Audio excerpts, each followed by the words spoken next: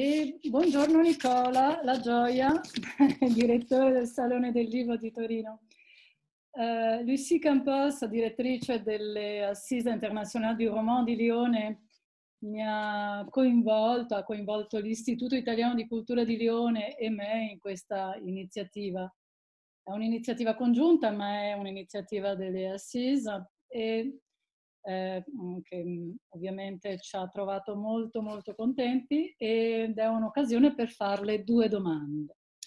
Allora, innanzitutto eh, complimenti per il ricchissimo programma del Salone del Libro 2020 che eh, in attesa della, dell'edizione vera e propria presenta la settimana prossima uh, degli appuntamenti virtuali di grandissimo interesse, devo dire. Quindi la prima domanda è uh, sulla presentazione della letteratura in traduzione. Il sottotitolo di, del Salone del Libro 2020 è Altre forme di vita, se ho ben capito. E quindi, uh, pertanto, le chiedo, uh, qual è la situazione per quanto riguarda la visibilità delle proposte letterarie in traduzione per il Salone del Libro. Cioè della letteratura straniera che noi facciamo venire Letteratura in traduzione, letteratura straniera nei confronti dell'Italia. Beh, sì, è il, è, per quanto riguarda il Salone del Libro, insomma, il nostro è un salone internazionale, quindi eh, vengono ogni anno, arrivano ogni anno autori, autrici da circa 34-35 paesi diversi. Ogni anno a maggio mezzo mondo, anzi, insomma, da tutti e cinque i continenti in realtà, quindi da tutto il mondo, mm. ehm, arrivano, arrivano appunto scrittori, scrittrici, scienziati, sociologi, filosofi, quindi è, è, è, come se un po' tutto il mondo per qualche giorno si ritrovasse, in questo caso soltanto idealmente, non fisicamente a causa del Covid, eh, sotto, diciamo così, il tetto del Salone del Libro di Torino.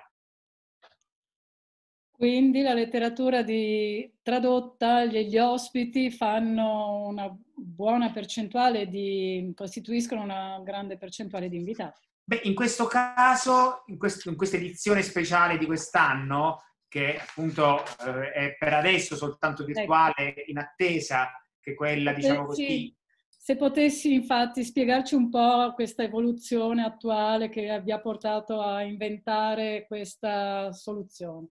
Sì, eh, no, stavo dicendo appunto più della metà degli autori sono, sono stranieri, sono in traduzione quelli che, quelli che, ci sono quest'anno, anzi sono, forse gli italiani sono, saranno anche meno del 50%. Ah. Eh, quest'anno um, è andata così, il salone, so, un po' come è successo col Salon du Livre eh, di, di, di Parigi, a un certo punto non si poteva tenere e quindi abbiamo pensato di spostarlo a data da destinarsi. Speriamo in autunno, se la situazione migliorerà, di poterlo eh, realizzare.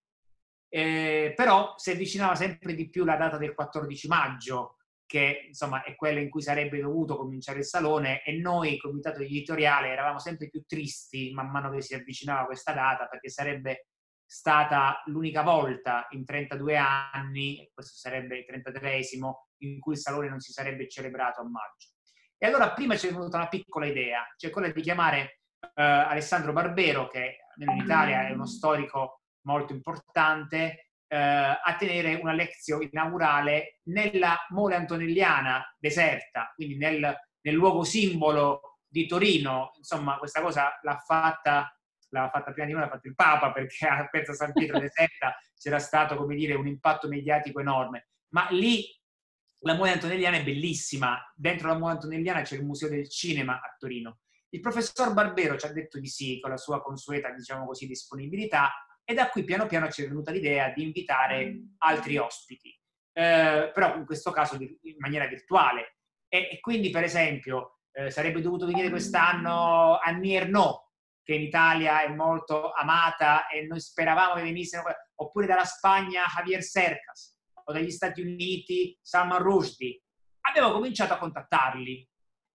Non sapevamo che cosa avrebbero risposto. La risposta è stata talmente forte, talmente entusiastica, talmente che a quel punto abbiamo pensato che stava succedendo qualcosa di grosso, qualcosa di importante. Abbiamo continuato a chiamare autori, per esempio stamattina è arrivato il sì di Joseph Stiglitz, il premio Nobel per, per l'economia, di Jared Diamond, eccetera, eccetera. E quindi a questo punto è come se questa edizione virtuale che noi pensavamo piccolina ci esplose in mano.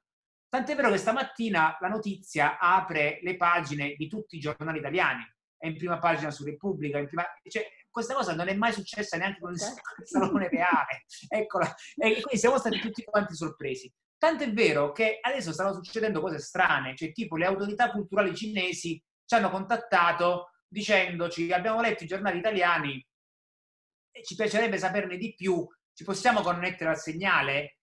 Eh, avete dei sottotitoli in inglese e noi non immaginavamo di dover fare dei sottotitoli in inglese e quindi adesso ci stiamo un po', siamo stati travolti da questo. Io credo che sia per tre motivi tutto questo. Eh, da una parte eh, forse ehm, fatto che questo, questo appello, diciamo così, venga dall'Italia, che è un paese particolarmente colpito dal coronavirus, che però nell'immaginario culturale è molto forte. Magari appunto non c'è molta solidarietà dal punto di vista delle cancellerie internazionali e a livello politico, ma il mondo della cultura è molto più solidale rispetto a quello della politica internazionale. Benissimo. Il secondo motivo è, eh, credo che sia per il fatto che il Salone comunque per molti di questi autori e autrici è una casa importante, anno per anno, saltando alcune edizioni ovviamente, ma questi autori internazionali sono abituati a, insomma, a venire a Torino e poi anche perché gli abbiamo proposto dei temi eh, forti, alti. Per esempio, ci ha detto di sì David Quammen, l'autore di Spillover, cioè il libro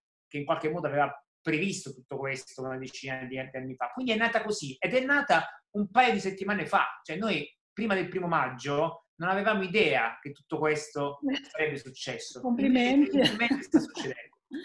Complimenti, allora vado un momentino mh, mm, a restringere anche perché poi certo. avremo l'intenzione di creare i sottotitoli ah, in certo. francese e quindi lo faremo noi come istituto. Ah, okay. Quindi passo alla seconda e ultima domanda che, è, eh, che verte sul tema di Assise Internazionale du Roman 2020. Il tema è l'incertitude, l'incertezza e vorremmo conoscere qual è il suo personale avviso su questo tema. Se hai, ehm, Nicola La Gioia, dei consigli di lettura, eventualmente italiani o no, su, sul tema dell'incertezza, in modo breve possibilmente. Grazie. in modo brevissimo. Allora, l'incertezza e la discontinuità fa parte della storia. Cioè, se uno prende la storia umana, la storia dell'essere umano, è piena di momenti di discontinuità, guerre, carestie, epidemie. Noi avevamo avuto 70 anni di continuità, ci eravamo abituati, diciamo così, a una certa stabilità e il, il cigno nero sta diventando sempre di più, come dire, una, una costante. E quindi eh, l'incertezza, eh, ci dovremo convivere con l'incertezza e tutti i grandi romanzi sono fatti di incertezza, di ignoto. Ecco, se devo prendere un titolo, Cuori di tenebra di Joseph Conrad è un viaggio verso l'incertezza, sia dal punto di vista geografico, sia dal punto di vista di esperienza interiore. Grazie tante, allora, buonissimo, buonissimo salone. Peccato Grazie. non esserci quest'anno, ci sono venuta anche l'anno scorso e, e buon coraggio. Grazie. Grazie, arrivederci.